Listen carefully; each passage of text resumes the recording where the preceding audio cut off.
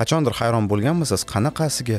Mana bundoq kichkina fleshkalarga bir terabaytlab ma'lumot sig'adi. Oldingi yilda bo'lsa bir gigabaytli fleshka bo'lsa vuy derdik hozir bundoq kichkina bir terabaytli fleshkaga ham hayron qolmayapmiz. Shuning uchun bugun sizlar bilan sd kart ya'ni sd fleshkalar qanday ishlashi ular elektr quvvatdan uzilgandan keyin ham xotirasini ichida qanday qilib ma'lumotni saqlab qolishi? Xullas salom. Bu texnoplov man sadulla abdullayevman faris boss mana bu faris diskning birinchi versiyasi. Bitta o'tirishda ichiga bitta osh sig'diradi. Mana bu faris diskning keyingi yil chiqqan versiyasi. Bitta o'tirishda ichiga ikkita osh porsiyasini sig'diradi. Mana bu esa faris diskning eng oxirgi versiyasi va bitta o'tirishda ichiga to'rtta osh porsiyasini sig'diradi. Ana shular bilan bog'siz endi o'zing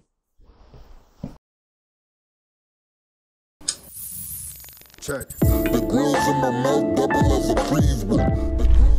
Sd o'zi nima sd tarjima qilinganda secure digital ya'ni xavfsiz raqamli degan ma'noni anglatadi. Bu 1999 yilda uchta kompaniya tomonidan sandisk panasonic va toshiba tomonidan ishlab chiqarilgan ko'chma xotira karta formati.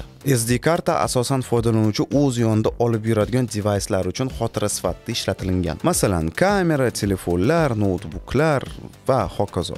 Masalan kichkinaligimda menga playstation 2 olib berishgandi ammo sd kartasi yo'q edi olib berishmagan. Va shu deb o'yinlarning progressi ham saqlanmasdi ichida. Va natijada man har kuni har bir o'yinni noldan boshlab qancha o'tarkanman deb rekordga o'ynar edim hech qachon oxirigacha o'tmasdim hech qaysi o'yinni.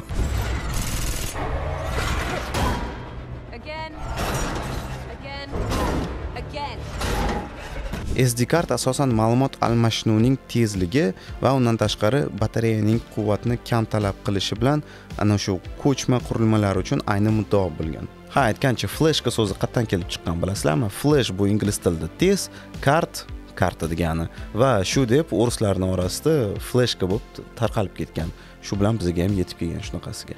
O'zi flesh bu xotira turi va ana shu payt syomka to'xtab qoldi chunki ssenaristimiz ziyod kechki ovqatga nima yeymiz deb birdaniga kirib qoldi.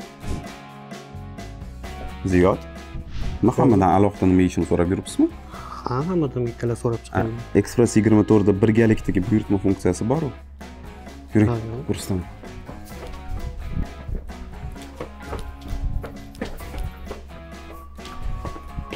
qarang. Xohlagan restoraningizni tanlaysiz birgalikda buyurtma tugmasini bosasiz u sizga havola beradi. Havolani olib bolalarga yuborasiz hammasiga. Bolalarga mana shu havolalarni yubordiku ular ana shu havolalar orqali xohlagan narsasiga buyurtma beradi ular buyurtma qilgan narsalar manda keyin paydo bo'ladi.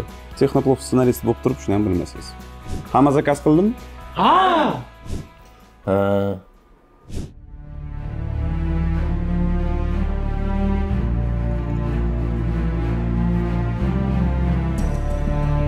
sizlar zakaz qilmadinglar man hali poskani ulgurmadimu to'xtang chiqib turing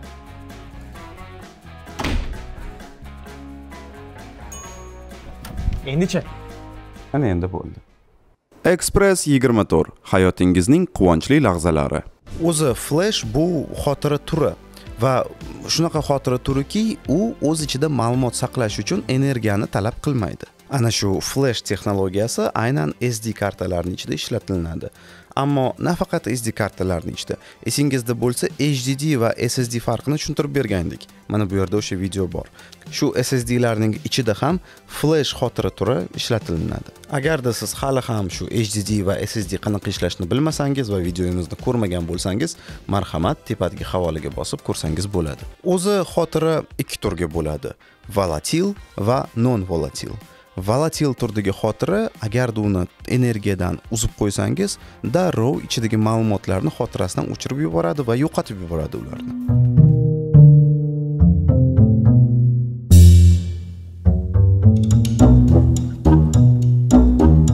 Non volatil esa tushunib bo'lganingizdek elektr energiya kelmay qolganda ham baribir ichidagi ma'lumotlarni saqlab turadi.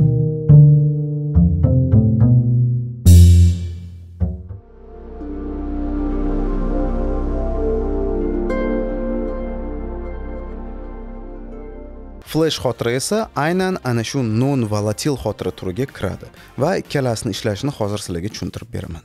Ammo birinchi bo'lib volatil xotira qanday ishlashini ko'rib chiqishimiz kerak bo'ladi va volatil xotirani ko'rib chiqishimiz uchun misol sifatida DRAMni olishimiz mumkin. DRAM bu Dynamic Random Access Memory. Eslab qoldingiz bu xotira turi ma'lumotni saqlash uchun kondensatorlardan foydalaniladi agarda kondensator ichida zaryadlangan bo'lsa u birni ko'rsatib turadi. Agarda zaryadlanmagan bo'lsa nol ma'nosini anglatib turadi. Bunday ma'lumot saqlash turida agarda kondensatorlarga elektr tok berilmay qo'yilsa bo'lmasan vaqti bilan ularni ichidagi ma'lumot yo'qoladi. Chunki ana shu kondensatorlar agarda zaryadlanib turmasa sekin sekin ular o'zi ana shu zaryadni yo'qotishni boshlaydi. Ma'lumot esa ana shu kondensatorlar faqatgina zaryadlanib turgan paytda xotirani ichida saqlanishi mumkin. Shuningdek shu turdagi xotirani agarda tokka tiqib qo'yib zaryadlab turmasangiz uning kondensatorlari sekin sekin nollarga aylanishni boshlaydi.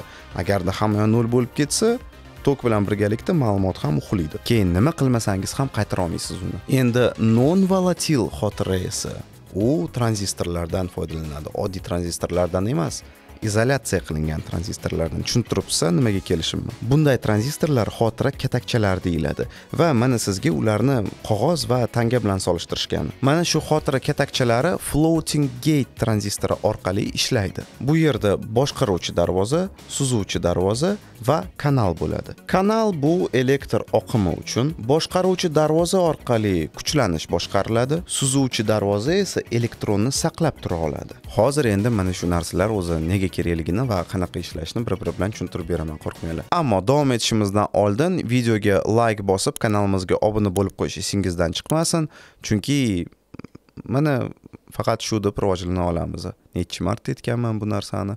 Yetmish foiz odam bizani videolarimizni obunasiz ko'rar ekan. Do obuna bo'lib qo'yinglar endi agarda baribir ko'radigan bo'lsanglar. Rahmat. Xullas ana shu sxemaga u ko'tara oladigan kuchdan ko'proq kuch berilganda kanaldan oqayotgan elektronlarning bir qismi suzuvchi darvozaga o'tib qoladi. Chunki ko'payib ketgan bo'ladi. Bunga sabab bu yerda magnit maydoni hosil bo'ladi va mana shu qolib ketgan elektronlar hech qayerga qochib keta olmaydi. Chunki ular tushib qolgan joy izolyatsiyalashtirilgan. Endi tushunib turibsiz qayerga kelayotganimni yana bir marta. Agarda elektronlar izolyatsiya bo'lib qolgan bo'lsa va uskunani ichida qolib ketgan bo'lsa demak ular tranzistorlarni doim quvvatlantirib turish kerak bo'ladi. Va ularni endi faqatgina shu magnit maydon yordamida chiqarib olish mumkin. Endi tasavvur qiling. Elektronlar qolib ketgan xotira katakchalari agarda nolni ko'rsatib tursa oddiylari birni ko'rsatib turadi.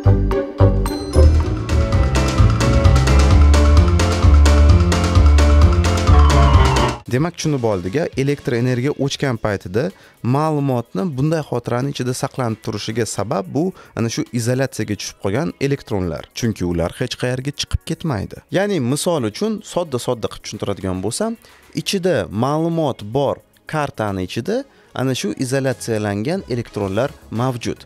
Agarda siz ana shu kartani formatlashtirib yuborsangiz ichidan elektronlar chiqarib yuboriladi va shu bilan birga ma'lumot ham ketib qoladi va karta bo'shab qoladi. Mana shunday qilib sd kartalar hech qanday elektr energiyasiz o'z ichida ma'lumotni saqlab turadi.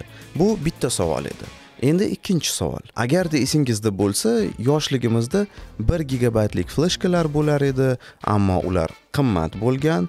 Hozirgi paytda esa ikki yuz ellik oltita gigabaytlik fleshkalar hattoki bir terabaytlik fleshkalar ham bor va ular arzonroq. Nega unaqa? Qanaqa qilib biz odamzod vaqt o'tib mana shunday kichkina narsani ichida mana shunday ma'lumotlarni sig'dirib kelish imkoniyatlarini topib kelyapmiz. Ushbu hodisani tushuntirish uchun informatikada bitta qonun bor. Ushbu qonunni intel asoschilaridan biri 1965 yilda ishlab chiqqan va uning ismi grant mur edi. Shuning uchun qonunni nomi ham mur qonuni deb ataladi. Bu qonunga ko'ra mikrochiplarni ichidagi tranzistorlar har ikki yilda ikki marta ko'payadi. Tranzistorlar esa mikrochipni ichida qancha ko'p bo'lsa demak mikrochip shuncha xotirani sig'dira oladi oladi o'z ichiga. Agarda sodda qilib tushuntiradigan bo'lsam oddiyroq qilib aytsak har ikki yilda hisoblash quvvati ikki marta oshadi. Bunga esa tranzistorlarni orasidagi zichlik oshishi bilan erishiladi.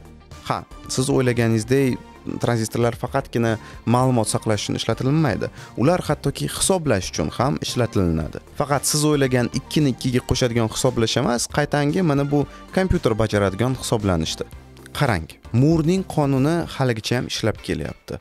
Ha tranzistorlarning orasidagi zichlik oshyapti hisoblash quvvati ko'payyapti va mm, chiplarning hajmi ham ya'ni xotirasi ham ko'payyapti ammo hozirgi paytda ana shu ko'payishga hojat sekin sekin yo'qolishni boshlayapti masalan siz oddiy foydalanuvchi bo'lsangiz va 2 terabaytli fleshkani sotib olgan bo'lsangiz uni 2 yilda to'ldirib qo'yasizmi yo'qmi hali hech kim bilmaydi.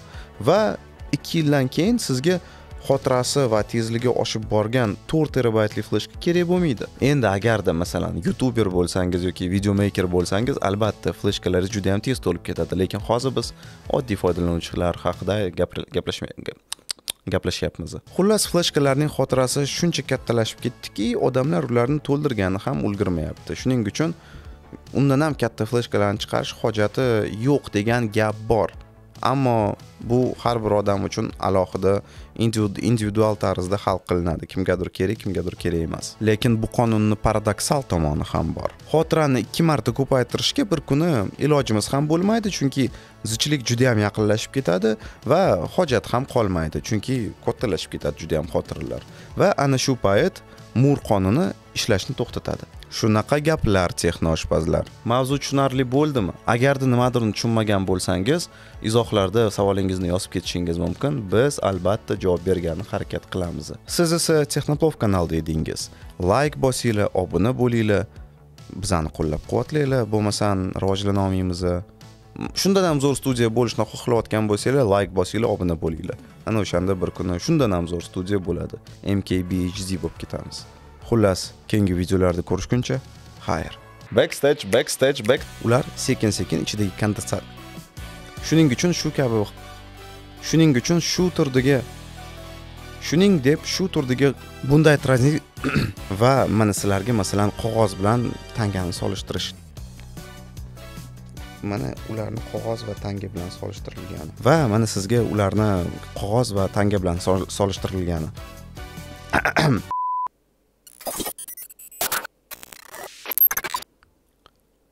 shu bilan birga tranzistorlar shu bilan birga xullas tranzistorlar soni ko'payyaptimi demak ularni narxi ham sekin sekin tushishni boshlaydi. Chunki bozorda agarda